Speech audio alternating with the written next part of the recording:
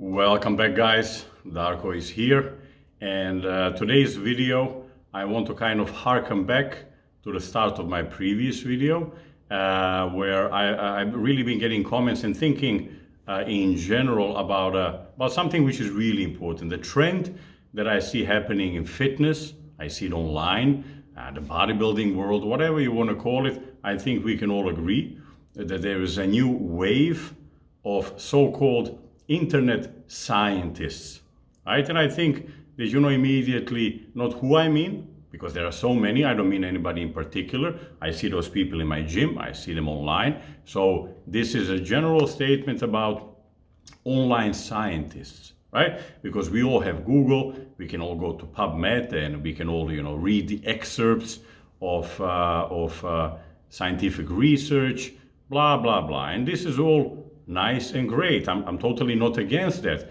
I read them myself.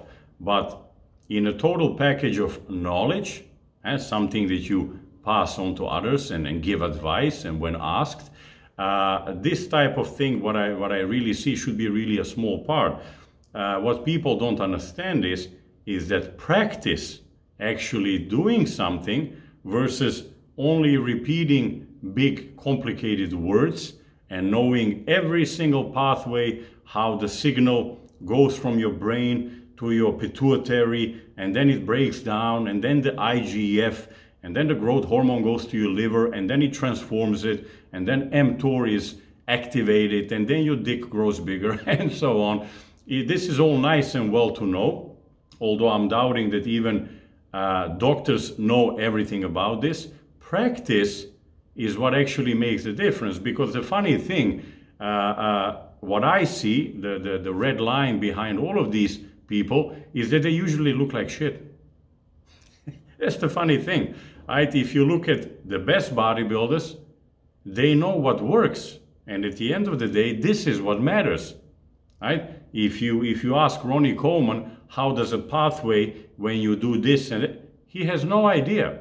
But he knows if he does A, then B, C, and D will follow. And if he keeps at it, consistency, uh, hard work, you know, certain lifestyle, that certain things will happen. And at the end of the day, we should be doing this for results, right? If if you are knowing all of the research, great, you can be a professor.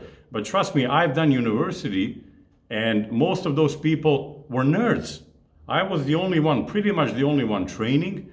I was the only one who had a body to speak of. Most people were walking around with just a head. They didn't even know that they had a body below the neck, so to speak. Uh, you can you can ask them, can you tense your muscles? Like I don't even have muscles, right? So it's it's it's good to know your theory. There's nothing wrong with that. I love reading. I love you know getting getting up on on new knowledge.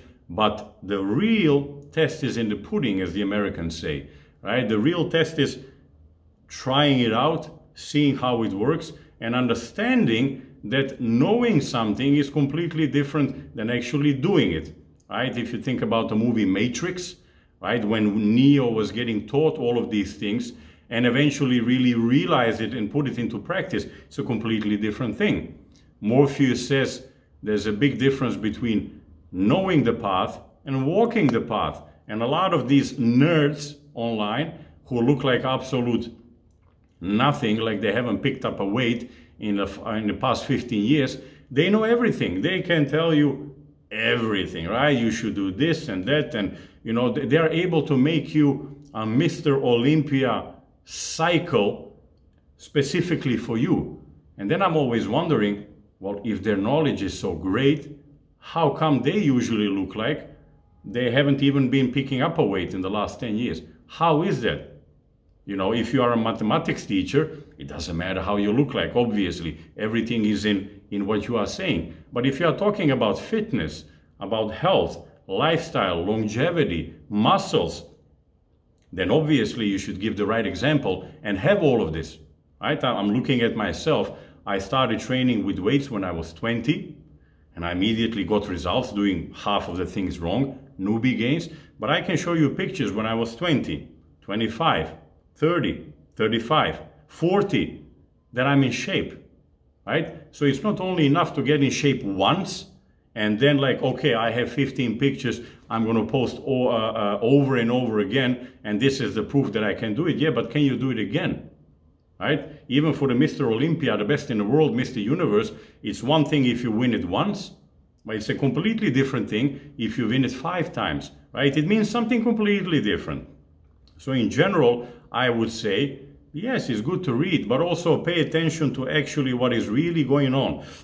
The theory will not tell you how it feels to do a T-bar row for your back, that you feel totally crushed, right? Your lungs and your heart are coming together and your back is exploding and how freaking hard it is.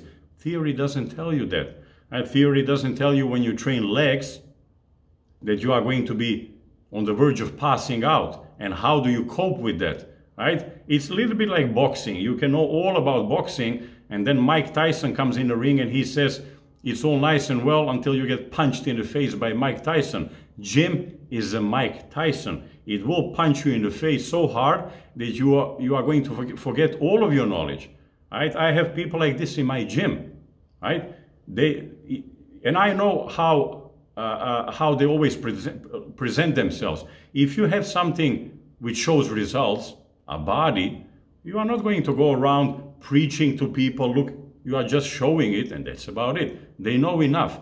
But if you know that your body is shit, you are not able to consistently be fit and healthy and, and vital and, and you know all of that strong, then you are going to go around preaching your knowledge to people, right? You are going to be looking like crap, but you are going to walk into others say, hey, this is how you should do it, and this is the research.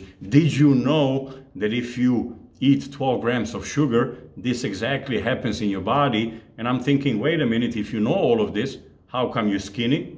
How come you're fat? How come you have zero muscle? How come, you know, your little sister is stronger than you? How is this all possible? Right? And this is the big difference between theory and practice. So always listen, my advice, to people who have practice instead of people who have theory right? If you look at the best bodybuilding coaches, they are not professors, they are not clinicians, they are not surgeons, they are none of that, but they know what actually works. They might not be able to explain to you exactly how everything works, right? But that doesn't mean anything, right? The results are in the pudding. When you are 40 years old, or whatever age, and you look good, you look better than a 25 year old, you know, a guy in the gym or just as good body wise. You can't change the face and the gray hairs. Uh, then you know something, right? I was in the gym and there's a fat guy. He is the biggest technician and theorist you can ever find. He knows everything. He knows every aspect of everything, but he can never get in shape. I told him, you have absolutely no idea what you're doing.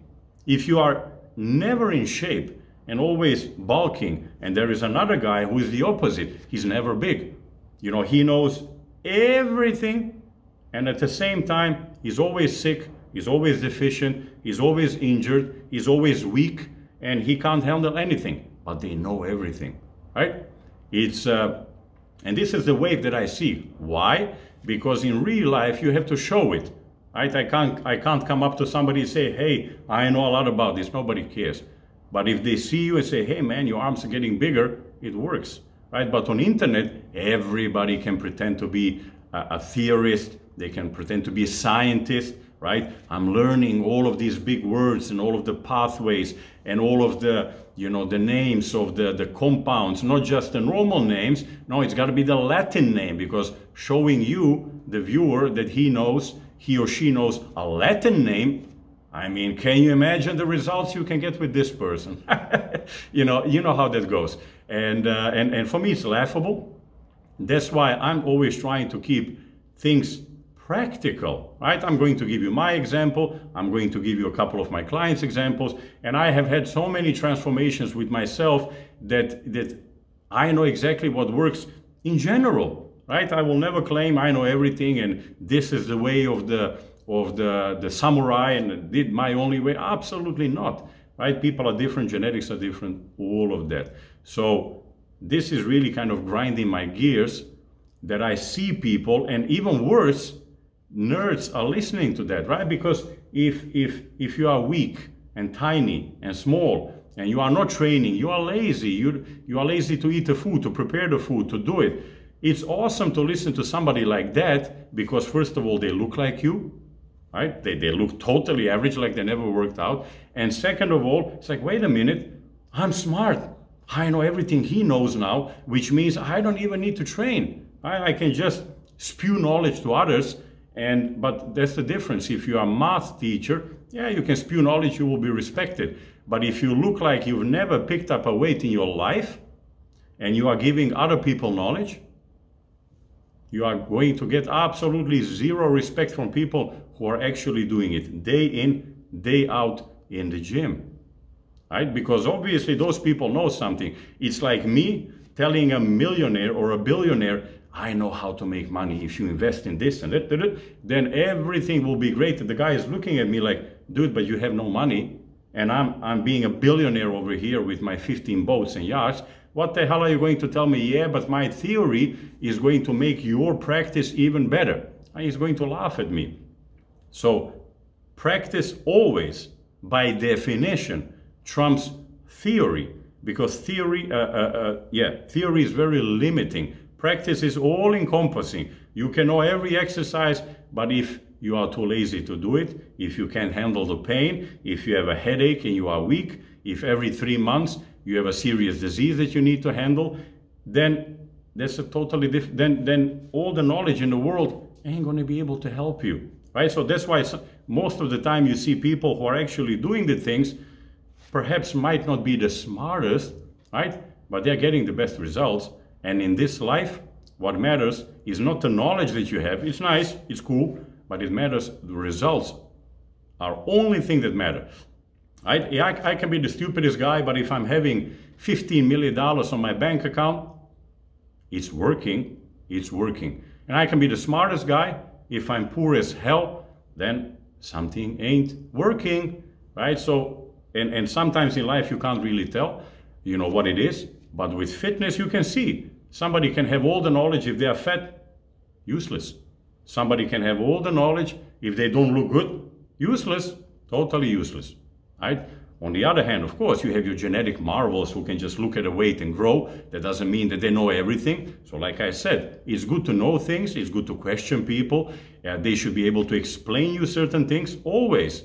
But don't go too far with it. Don't take it. The whole point of bodybuilding is not to become a bodybuilding scientist so that you can compare yourself with an Oxford or a Harvard physician and, uh, and an endocrinologist and compare notes.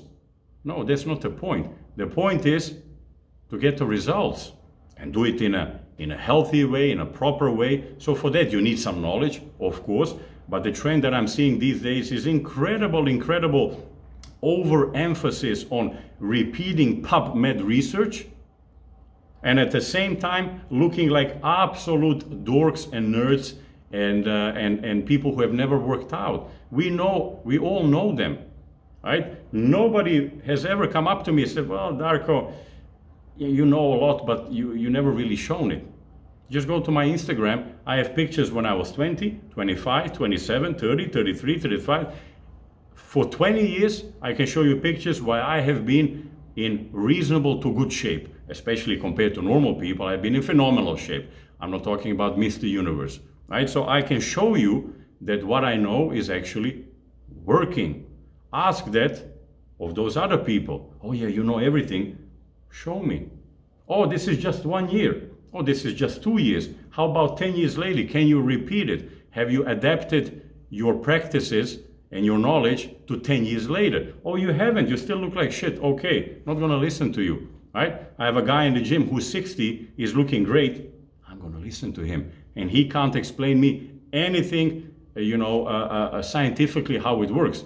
The guy is 60 and he's banging 25 year old girls. He looks amazing. This is what you want. And you don't want somebody who's totally out of shape, looks like never picked up a weight, but they can recite you all of PubMed and all of this. Right? So this is this is what I uh, uh, what what I try to do with my channel. Simply give you practical medium level, not the highest scientific level, because bodybuilding should not be scientific. It should be part of it, but it should also not be okay, just go train and sleep and it will be all right.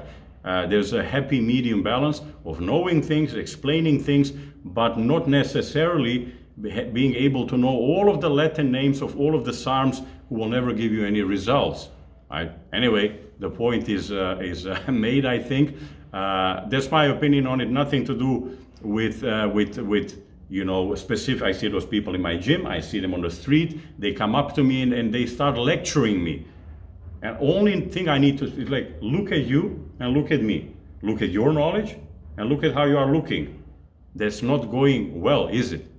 And then they just droop off and, and walk away. Right? Because I would never try to walk up to somebody and give them my knowledge because I don't presume to know everything. I actually presume that I'm always learning. I think that's a good way, always being developing. But the people who look the shittiest, pay attention to this. The people who look totally like they don't work out will mostly give you mm, uh, a most scientific evidence, research. I read something about SARM 1.5, 17, uh, 85. If you take 2.5 milligrams, then your biceps will be 52 centimeters. But never they have shown any result with it. It's always very interesting eh? how, how scientific research never leads them to any significant results. So they're, they're probably missing 90% of the picture. Anyway, that's my little rant for today. The next video will be definitely about something uh, with more content. Uh, I'm looking at it from here. Yeah, this will be more diet focus, how to do it, you know, basic information, good information, something that you can actually use instead of just listening to people who are reciting all of this stuff and, uh, you know, uh, looking like, uh, like uh, weasels themselves usually. all right, guys, take care and uh, we'll catch up soon.